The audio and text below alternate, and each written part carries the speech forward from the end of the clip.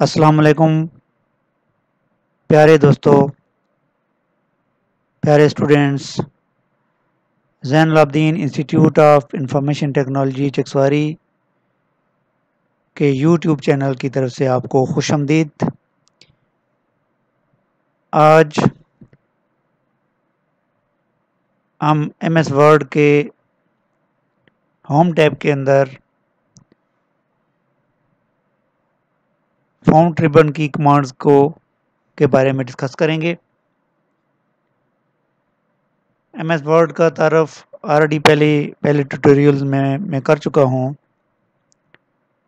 तो आज हम होम टैब के अंदर फाउंड के बारे में बड़ी डिटेल से पढ़ेंगे।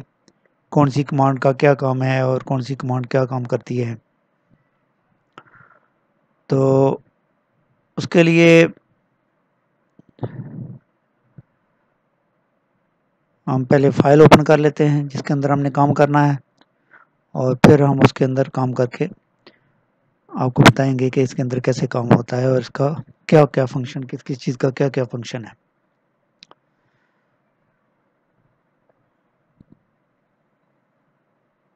कंप्यूटर लेसन्स हैं, इनको सीखना आपके लिए बहुत ज़रूरी है, और अगर आप इसको बड़े अच्छे तरीके से गौर करके सीखेंगे तो इन आपको फ़ायदा होगा।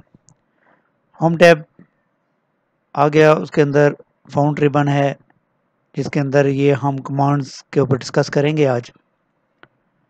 तो ये एक टेक्स्ट है, इस टेक्स्ट को मैं सिलेक्ट करता हूँ। जब भी आपने किसी टेक्स्ट के ऊपर कोई फॉर्मेटिंग अप्लाई करनी है तो उसके लिए ज़रूरी होता है कि उस टेक्स्ट को आप सिलेक्ट करें।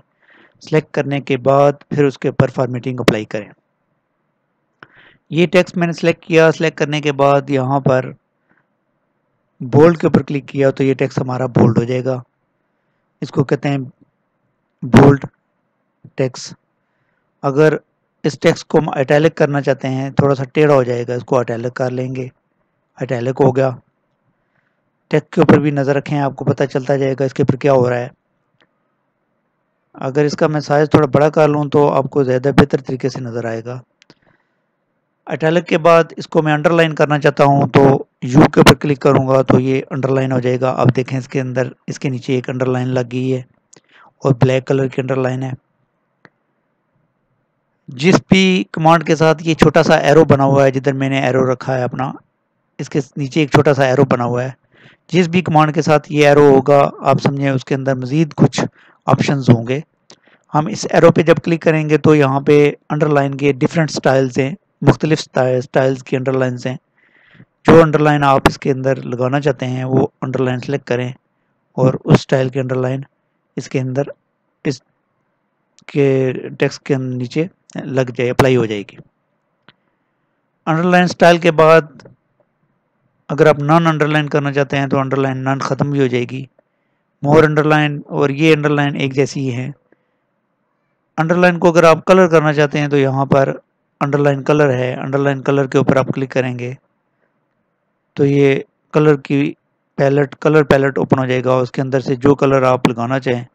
अभी आप देखते हैं, जिस कलर के ऊपर मैं माउस ले जाता हूँ, वहाँ पे अंडरलाइन का कलर भी चेंज हो रहा है। आप गौर से देखें तो आपको अंडरलाइन का कलर चेंज होता हुआ नज़र आएगा।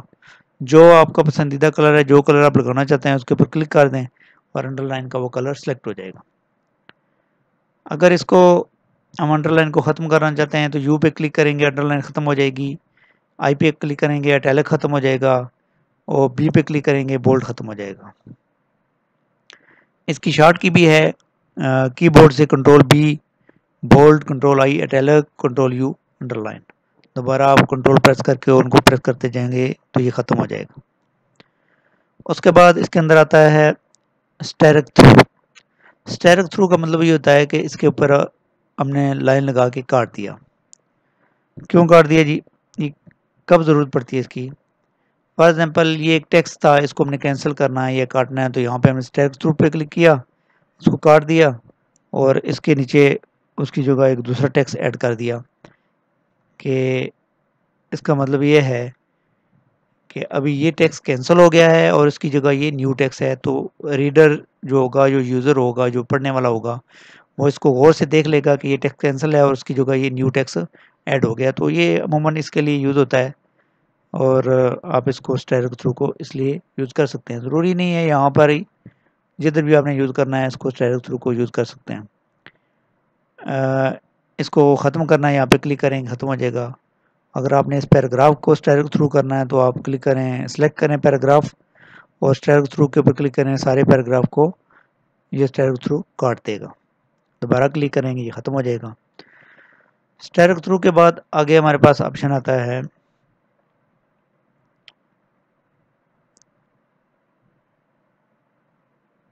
सबस्क्रिप्ट और सुपरस्क्रिप्ट सबस्क्रिप्ट और सुपरस्क्रिप्ट क्या है? अमूमन मैथ के अंदर हम लिखते हैं एक्स की पावर टू तो इस पावर को, ज़ाहिर एक्स की पावर को या ऊपर करते हैं या नीचे करते हैं। किसी जगह पे किसी चीज़ की पावर इसके ऊपर वाले किनारे पे होती है और कभी कभी कोई चीज़ होती है जिसकी पावर नीचे वाले किनारे पे होती है। तो यहाँ पे जब हम सबस्क्रिप्ट करेंगे करेंगे तो ये नीचे वाले किनारे पे चली जाएगी पावर इसकी और अगर हम इसको सुपरस्क्रिप्ट करेंगे तो ये ऊपर वाले किनारे पे पावर चली जाएगी। तो ये इसका यूज़ था सबस्क्रिप्ट और सुपरस्क्रिप्ट का। अगर ख़त्म करना है तो ख़त्म कर दें इसको। उसके बाद आता है text effect and typography text effect and typography अगर आपने ये टेक्स्ट सेलेक्ट किया है तो इसके ऊपर आप कोई इफ़ेक्ट लगाना चाहते हैं तो यहाँ से आपने एक इफ़ेक्ट लगा दिया। इफ़ेक्ट लगाने के बाद इस टेक्स्ट का डिफरेंट स्टाइल हो गया। मुख्तलि इफ़ेक्ट हैं, जो आप इफ़ेक्ट अप्लाई करना चाहते हैं, आप देख लें टेक्स्ट के ऊपर अप्लाई हो रहा है। अफेक्ट के बाद अगर आप इसको आउटलाइन लगाना चाहते हैं तो यहाँ से कोई एक आउटलाइन लगा दें। अभी बजाय तो हमें लग रहा है कि ये सारा रेड है, पर ये इसकी आउटलाइन है। और आउटलाइन हम थोड़ा इसको बड़ा करते हैं, हमें नज़र आ जाएगा इसका आउटलाइन। अभी नज़र आ रहा है आपको, इसके अंदर वही इफ़ेक्ट है, ब्लू कलर का, पर इसकी बाहर वाली जो लाइन है, बाहर वाला जो किनारा है, उसके ऊपर रेड कलर की आउटलाइन लगी हुई है। तो ये इसको कहते हैं आउटलाइन। यानी बाहर वाले किनारे को जब आपने कलर करना है, उसको तो आउटलाइन कहते हैं। आउटलाइन के बाद अगर इसके नीचे आप शेडोल अप्लाई करना चाहते हैं शेडो आप समझते हैं साया। देखें इस टेक्स्ट के नीचे पर्सन के नीचे ये साया नज़र आ रहा है आपको। यहाँ पे हमने अप्लाई किया बिलो अगर हम इसको प्रस्पेक्टिव डायगोनल अपर राइट करना चाहते हैं तो देखें ये टेक्स्ट के राइट पे जो टेक्स्ट लिखा हुआ है, उसी टेक्स्ट का साया पीछे नज़र आ रहा है।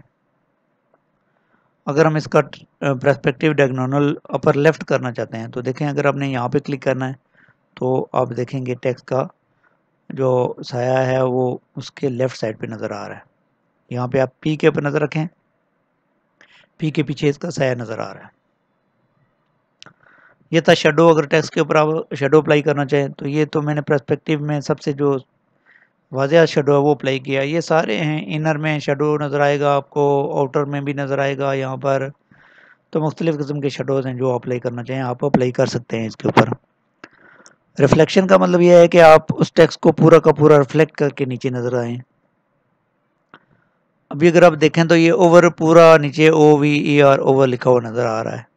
तो ये टेक्स्ट को आप रिफ्लेक्ट भी कर सकते हैं यहाँ पर। गिलो का मतलब यह है कि टेक्स्ट के गिर्द बाहर जो आउटलाइन है आउटलाइन से बाहर आपको एक फैला हुआ कलर नज़र आ रहा है। अब गौर करें जो टेक्स्ट के ऊपर जो अप्लाई हो रहा है तो आपको नज़र आएगा कि ये टैक्स इफ़ेक्ट में गिलो अप्लाई हो रहा है। तो ये था टैक्स इफ़ेक्ट एंड टाइपोग्राफी उम्मीद है इसकी समझ आ गई होगी आपको। आगे चलते हैं। इसको कहते हैं टेक्स्ट हाईलाइटर हाईलाइट कलर इसको कब यूज़ करते हैं? हम यहाँ पे देखें, अगर हमने, मैंने टेक्स्ट सेलेक्ट किया है, कुछ तीन लाइनें। तो अगर इसके ऊपर मैं कोई कलर हाईलाइट करना चाहता हूँ तो देखें अभी कलर हाईलाइट हो रहा है। ब्लू कलर का हाईलाइट है, फिर ग्रीन कलर का। ब्लू, येलो था पहले, ग्रीन, फिर ब्लू है, फिर ये पिंक टाइप है, फिर ये ब्लू है।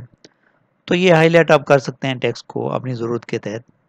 अमूमन बाज़ार से हम एक हाईलाइटर लेते हैं और टेक्स्ट को अपनी बुकों पे जो इम्पोर्टेंट टेक्स्ट होता है उसको हाईलाइट करते हैं। तो ये भी वही चीज़ है।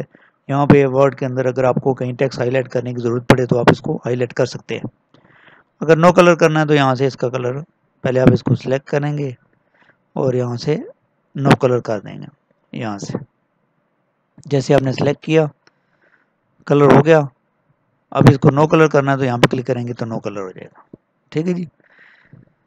उसके बाद आता है टेक्स्ट को अगर कलर करना है, ये तो हाईलाइट था टेक्स्ट का कलर वही ब्लैक था, लेकिन हाईलाइट हो गया था। लेकिन अगर टेक्स्ट को कलर करना हो तो यहाँ पे चले जाएँगे फाउंड कलर में। पहले टेक्स्ट वो चीज़ जो आप कलर करना चाहते हैं, उसको सिलेक्ट करना बहुत ज़रूरी है। आपने ये टेक्स्ट सेलेक्ट किया।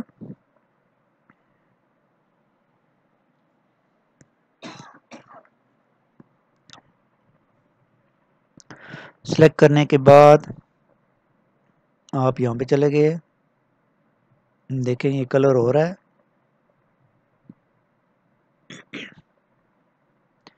अभी देखते जाएँ, आप गौर से देखें, जो टेक्स्ट मैंने सेलेक्ट किया था, वो कलर हो रहा है। मुख्तलिफ़ कलर में अप्लाई कर रहा हूँ। और जो जो कलर आप अप्लाई करते जाएँगे, वो कलर उसके ऊपर शो होता जाएगा। तो जो भी आपने फाइनली कलर करना है, वो आप कर लें। आपकी मर्ज़ी है, जो आपको पसंदीदा कलर है, वो कर लें। ये इसके ऊपर एक कलर मैंने अप्लाई कर दिया। ये था फाउंड कलर उसके बाद आगे चलते हैं ऊपर वाली लाइन में। एक पैराग्राफ मैंने सेलेक्ट किया है। सेलेक्ट करने के बाद इसका फाउंड स्टाइल में चेंज करना चाहता हूँ। तो देखें, ये थीम फाउंड कलर है, ये स्टाइल चेंज हो गया। आप हाईलाइट पैराग्राफ के ऊपर भी नज़र रखें और जो स्टाइल मैं सेलेक्ट कर रहा हूँ, उसके ऊपर भी नज़र रखें तो आपको पता चलता जाएगा कि फ़ॉन्ट का स्टाइल इसको फ़ॉन्ट फेस कहते हैं फ़ॉन्ट का चेहरा, वो चेंज हो रहा है। जो सिलेक्ट किया हुआ सारा नहीं होगा, जो आप सिलेक्ट करेंगे वो ही होगा चेंज तो ये देखते जाएँ आप, ये जो हम सेलेक्ट कर रहे हैं, उसके जो है वो फ़ॉन्ट स्टाइल चेंज हो रहे हैं। काफ़ी सारे फ़ॉन्ट स्टाइल हैं, आप यहाँ से स्क्रॉल बार को नीचे करें तो बहुत ज़्यादा फ़ॉन्ट स्टाइल हैं। तो ये इंटरनेट से भी डाउनलोड आप कर सकते हैं, पर यहाँ पे माइक्रोसॉफ्ट वर्ड की तरफ़ से आपको दिए जाते हैं। ज़्यादातर यही फ़ोन स्टाइल हम यूज़ करते हैं, इससे बाहर बहुत कम होते हैं। ये था जी फ़ॉन्ट फेस फ़ॉन्ट फेस के बाद आता है फ़ॉन्ट साइज़ अगर आपने इसका फ़ॉन्ट साइज़ बड़ा करना है तो यहाँ पर इसका फ़ॉन्ट साइज़ आप बड़ा कर सकते हैं। देख लें आप, ये बड़ा हो गया और अगर छोटा करना है तो इसको आप वापस चलते जाएँगे, ये छोटा होता जाएगा। उसके बाद इसका फ़ॉन्ट साइज़ यहाँ से भी बड़ा छोटा हो सकता है। यहाँ से आप इस ए पे क्लिक करते जाएँगे तो ये बड़ा होता जाएगा। और इस ए पे क्लिक करते जाएँगे तो ये छोटा होता जाएगा। इस तरह भी आप इसका फ़ॉन्ट स्टाइल छोटा कर सकते हैं, छोटा कर सकते हैं और बड़ा कर सकते हैं। ये था फ़ॉन्ट स्टाइल को छोटा बड़ा करने का तरीकाकार। उसके बाद आता है जी हमारे पास चेंज केस चेंज केस क्या चीज़ है? देखें, एक पैराग्राफ जब भी टाइप होता है तो उसके फुल स्टॉप से पहले जब पैराग्राफ शुरू होता है तो उसका पहला वर्ड कैपिटल होता है। जैसे ये फुल स्टॉप देखें, इसके बाद ये पहला वर्ड कैपिटल है। आगे अगर आप चलते जाएँ तो यहाँ पे फिर कहीं पे होगा फुल स्टॉप ये फुल स्टॉप है, इसका पहला, आगे वाले जो पैराग्राफ शुरू लाइन शुरू हो रही है, उसका पहला वर्ड बड़ा है। तो इसको कहते हैं सेंटेंस केस ये पहला है चेंज केस के अंदर, ऊपर बार में देखें, ऊपर। सेंटेंस सेंटेंस केस कमांड के अंदर। जब हम क्लिक करेंगे तो ये सेंटेंस केस में ही होगा। पहला वर्ड बड़ा होगा हर एक। का लेकिन अगर हम लोअर केस करेंगे तो सारे छोटे हो जाएँगे। लोअर का मतलब सारे छोटे वर्ड हो जाएँगे। और अगर आप अपर केस करेंगे तो सारे बड़े हो जाएँगे। ये आप नज़र आ रहा है आपको, यहाँ पे अप्लाई इसके ऊपर नज़र रखनी है आपने। यहाँ पे ये अप्लाई हो रहा है। अगर आप कैपिटलाइज ईच वर्ड पे क्लिक करेंगे तो हर वर्ड का पहला वर्ड कैपिटल हो जाएगा। हर वर्ड का पहला करेक्टर कैपिटल हो जाएगा। ये पूरा वर्ड है और को इसको एक करेक्टर कहते हैं, पहले वर्ड को। और अगर आप टोंगल केस में करेंगे तो ये भी अजीब सी लैंग्वेज है। पहला वर्ड के छोटा है, बाकी सब कैपिटल है। इसको टोंगल केस कहते हैं।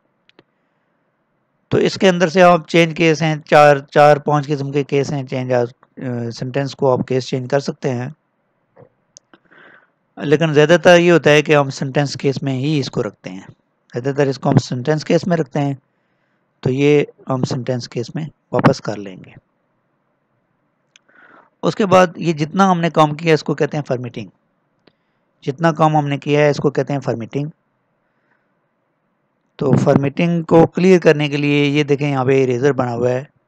जब आप इसके ऊपर क्लिक करेंगे तो सारी फॉर्मेटिंग क्लियर हो जाएगी। ये था हमारा आज का लेसन फाउंट होम टैब के अंदर आज हमने फाउंट रिबन की कमांड्स के बारे में पढ़ा डिस्कस किया, उनको अप्लाई किया. आपने देखा.